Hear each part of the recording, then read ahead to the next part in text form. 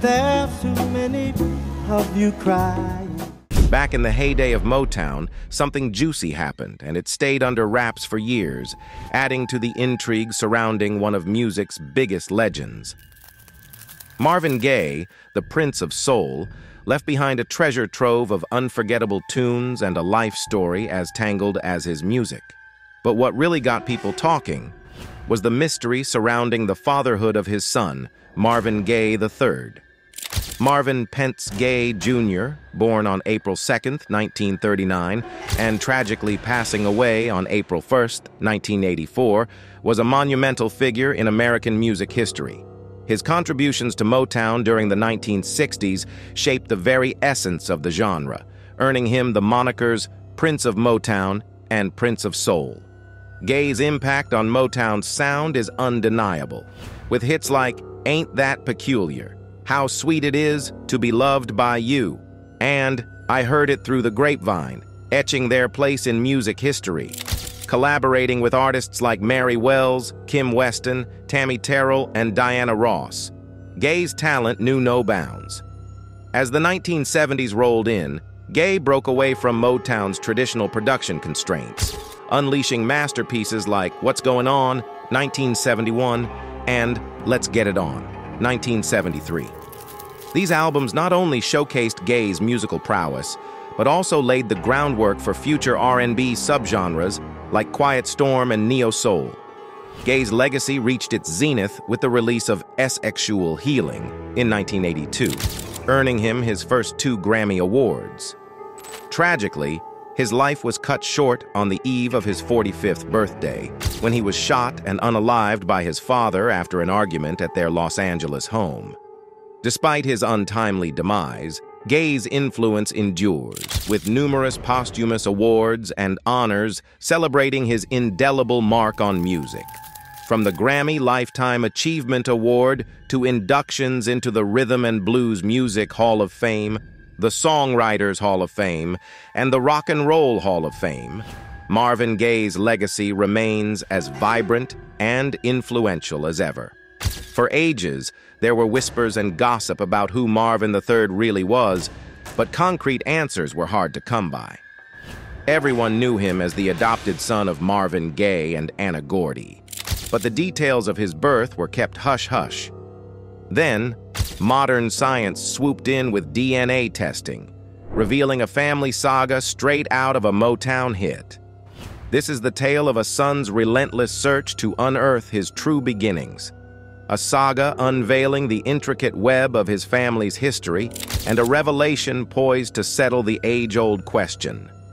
Who exactly is Marvin Gaye III's birth mother? With the DNA test results looming, we delve into the past, weaving together a narrative that delves deep into themes of identity, belonging, and the enduring legacy of a musical legend. Marvin Gaye III's lineage traces back to the iconic Marvin Gaye, his journey was a blend of unparalleled artistic genius and profound personal struggles. His voice became the anthem of a generation, yet his family story was fraught with discord and heartache. Marvin's union with Anna Gordy, the sister of Motown's founder Berry Gordy, was not just a romantic partnership, but also a strategic alliance in the world of music. It was within this marriage that doubts regarding Marvin III's parentage initially surfaced. While the public narrative maintained that Marvin III was adopted by the couple, murmurs of a more intricate tale lingered in the background. Marvin Gaye's personal life mirrored the complexity of his influential music. His marriage to Anna Gordy began in 1963 after a three-year courtship. Their bond was multifaceted, blending personal and professional realms as Anna contributed to Marvin's songwriting. Yet their union was fraught with turmoil, marred by infidelity and frequent conflict.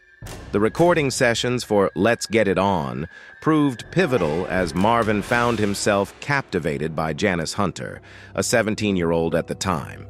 This affair spelled the end of his marriage to Anna Gordy, culminating in divorce in 1977. Subsequently, Marvin tied the knot with Janice, who later became the mother of two of his children. Marvin Gaye's life epitomized a dichotomy of artistic triumphs and personal tribulations. His relationships with both Anna Gordy and Janice Hunter served as significant chapters in his intricate life narrative, each leaving an indelible mark on his storied legacy.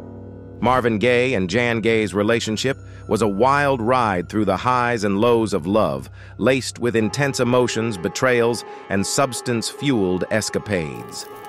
Despite the age gap, Jan was drawn into Marvin's world with lightning speed, immersing herself in the music scene's hedonistic culture of the 1970s. Their connection, amidst the haze of drugs and the allure of free love, was a fiery mix of passion and tumult. Their marriage, however, was far from a fairy tale. Marvin's deep-seated paranoia cast a shadow over their union, fueling suspicions and sparking countless arguments. Both Jan and Marvin sought solace outside their marriage, with Jan indulging in affairs with some of Marvin's musical peers. Their shared indulgence in drugs only exacerbated the situation, heightening paranoia and exacerbating Marvin's mental health struggles. Marvin Gaye's relationship with his young wife, Jan, reached a disturbing breaking point as their marriage deteriorated. Despite their significant age difference, their union was plagued by emotional abuse and violent outbursts. Marvin's criticisms of Jan's appearance, including remarks about her body, inflicted deep wounds on her self-esteem. Their arguments escalated to terrifying levels, with Marvin endangering their lives during a reckless episode behind the wheel.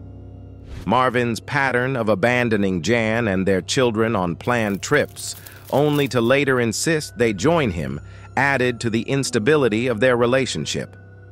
Jan, feeling neglected and mistreated, sought solace elsewhere, including in the arms of Marvin's musical rivals. Marvin's jealousy spiraled out of control, leading to violent confrontations fueled by drugs and paranoia. In one harrowing incident, high on a dangerous mix of substances, Marvin threatened Jan's life with a knife, leaving her paralyzed with fear. Although Marvin's rage subsided before he could harm her physically, Jan realized she could no longer endure the toxic cycle of abuse. In a decisive moment, she gathered her courage and fled with their children, determined to break free from the destructive grip of their marriage. Ultimately, their story is one of love and chaos intertwined. Jan Gaye's memoir, After the Dance, My Life with Marvin Gaye, pulls back the curtain on their tumultuous relationship, offering readers a raw and unfiltered glimpse into the complexities of their romance. Set against the backdrop of Marvin Gaye's iconic music career, it's a narrative that delves deep into the depths of passion, the destructive power of addiction, and the fragile balance between love and turmoil. Behind closed doors, the dynamics within the Gaye family were as elaborate as the melodies Marvin composed in the studio. His early years were scarred by the cruelty of his father, Marvin Gaye Sr., leaving an indelible mark that fueled Marvin's lifelong pursuit of affection and affirmation. This relentless quest for a sense of belonging would reverberate in his son's own journey towards uncovering the truth. As Marvin's fame skyrocketed, so did the strains and demands on his relationship with Anna Gordy. Their union faced numerous hurdles, sparking rumors about the real circumstances surrounding Marvin III's birth. The presence of Denise Gordy, Anna's niece, further complicated the already mysterious dynamics within the family. In the midst of musical brilliance and familial complexity, Marvin III embarked on his own journey. While the world mourned Marvin Gaye's tragic end, his life taken by the very hands that once cradled him. His legacy extended far beyond his musical creations. It became a labyrinthine puzzle, waiting to be deciphered over the passing years, casting a fresh perspective on the legend of Motown. The DNA test, a symbol of modern scientific advancement, emerged as the beacon illuminating the truth that had evaded Marvin III for so long. On an ordinary day, Marvin III received a parcel holding revelations that would reshape his perception of his family roots. Within the nondescript envelope lay answers to inquiries that had hung in the air, akin to the lingering echoes of his father's most soul-stirring tunes. The genetic evidence was unequivocal, offering undeniable proof of his ancestry. The veil over his unknown mother's identity was finally lifted, unveiling the woman who had bestowed upon him the gift of life. The weight of the moment has to bore down heavily on Marvin III's shoulders. This wasn't merely a scientific validation. It had to feet like finding his way home, a missing puzzle piece slotting into its rightful spot with the resonance of a chord struck on his father's piano. It was a melange of emotions, a bittersweet symphony blending joy, bewilderment, and the unavoidable ache of time lost. The scientific affirmation of his heritage transcended mere revelation. It marked a profound reckoning with his very sense of self. Each line on the page seemed to bear the burden of countless years steeped in uncertainty and yearning, reverberating with the haunting melodies of his father's music. I can only imagine. In the aftermath, Marvin III was engulfed by a tumultuous sea of emotions. The elation of unveiling the truth collided with a deep-seated sorrow for the time lost in ignorance of his authentic lineage. His mind would become a whirlwind of inquiries, akin to verses of an incomplete melody, each stanza yearning for closure and clarity. The unveiling of Denise Gordy's involvement in Marvin III's life is a tale imbued with the intricate layers of family dynamics, love, and selflessness. Denise Gordy, a young woman brimming with her own ambitions and talents, found herself at the intersection of her family's legacy and the unfolding drama of the Motown era. Hailing from the esteemed Gordy lineage, Denise wasn't just Berry Gordy's niece. She was a vital thread in a musical dynasty that shaped the very essence of a generation. At a tender age of 15, Denise's life took an unexpected turn when she found herself pregnant with Marvin III. The circumstances were anything but ordinary. Marvin Gaye, 26 years her senior and wedded to Denise's aunt Anna, stood as the father. In a remarkable display of familial devotion, and amidst the whirlwind of societal expectations, Denise made the courageous choice to carry the child to term a decision made all the more poignant as Anna struggled with infertility. The arrival of Marvin III on November 17, 1965, marked the genesis of a clandestine tale shrouded in secrecy for years to come. Shortly after his birth, Anna officially adopted him, and a carefully crafted family narrative emerged, shielding the truth from prying eyes. Denise's sacrificial act, and the collective decision to conceal the reality were emblematic of the era's values and the family's steadfast commitment to preserving a facade of normalcy in the public sphere. Amidst the challenges, Denise forged her own path beyond the shadows of this hidden truth. She embarked on a career in acting and singing, gracing screens and stages with her talent, thereby etching her legacy in the annals of entertainment. Her journey epitomized resilience and determination, a testament to her fortitude as a woman navigating the intricate web of life interwoven with the Gordy and Gaye legacies. With Marvin III's real parentage finally out in the open, Denise Gordy's story hits home the sacrifices made in the shadows of stardom. It's a raw tale of a mother's love, a family's tight bond, and the guts it takes to face the truth no matter how tough it gets. Denise Gordy, after years of speculation and silence, has profound implications not only for Marvin III himself, but also for the Gordy and Gaye families, and it has elicited a range of reactions from the public and those involved. Implications for Marvin Gaye. Third, the discovery reshaped Marvin III's sense of identity, potentially altering his familial relationships and his place within the Gordy and Gaye legacies. Given the circumstances of his conception and birth, there are complex legal and ethical questions that arise, particularly around the issues of consent and statutory laws at the time implications for the Gordy and Gaye families. The situation brings to light the lengths to which families may go to protect their image and the well-being of their members. How the families navigate this revelation will be a part of the ongoing narrative of their history and legacy in the music industry. The circumstances of Marvin III's birth have sparked discussions about the societal norms of the past and the legal implications of such situations. Simultaneously, many have expressed sympathy for Marvin III and Denise Gordy, recognizing the emotional weight of the situation. The discovery is likely a deeply personal and possibly transformative experience for Marvin III, offering closure but also raising new questions about his past.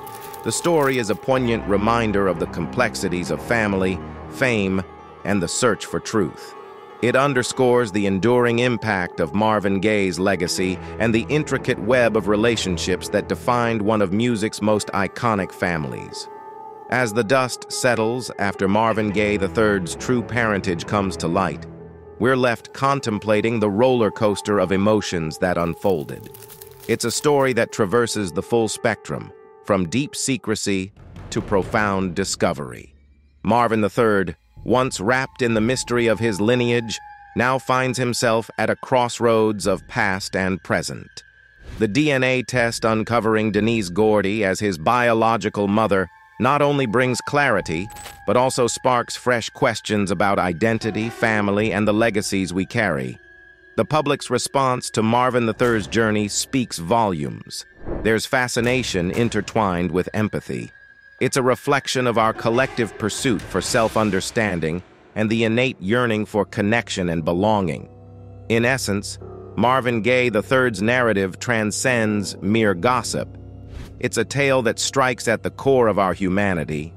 It serves as a powerful reminder that while truth may be complex and sometimes painful, it's also profoundly liberating and essential to our very essence. Marvin, a deeply flawed, brilliant artist that he was, it would be a reasonable assessment that he fell victim to the world he was born and raised in. Marvin Gaye's relationship with his father, Marvin Gaye Sr., was marred by a history of abuse and conflict, casting a dark shadow over his upbringing. Marvin Sr., a stern and religious figure, imposed his strict moral code on the family with an iron fist, leaving Marvin Jr. to liken living with him to being under the rule of a merciless king. His mother, Alberta Cooper Gay, also recounted the hostility Marvin Sr. harbored towards his son, reflecting a deep-seated resentment that tainted their familial bonds. The abuse Marvin Jr. endured as a child, both psychological and physical, inflicted deep wounds that lingered long into adulthood. The tumultuous dynamic with his father reached a devastating climax on April 1, 1984, when Marvin Jr. intervened in a dispute between his parents, only to be fatally shot by his father in a tragic turn of events. Marvin Gaye's personal relationships were similarly complex and fraught with turmoil. His marriage to Anna Gordy Gaye, sister of Motown mogul Berry Gordy, was riddled with fighting and rumors of infidelity from both parties. The strain in their union peaked when Marvin embarked on an affair with Janice Hunter, a 17-year-old, during the recording of his iconic album, Let's Get It On. These facets of Marvin Gaye's life, his traumatic upbringing and tumultuous marriages, were intricately intertwined with his musical brilliance, lending an emotional depth to his work that resonates to this day. Despite grappling with personal demons, Marvin Gaye's legacy as a pioneering musician endures his music serving as a timeless testament to the human experience.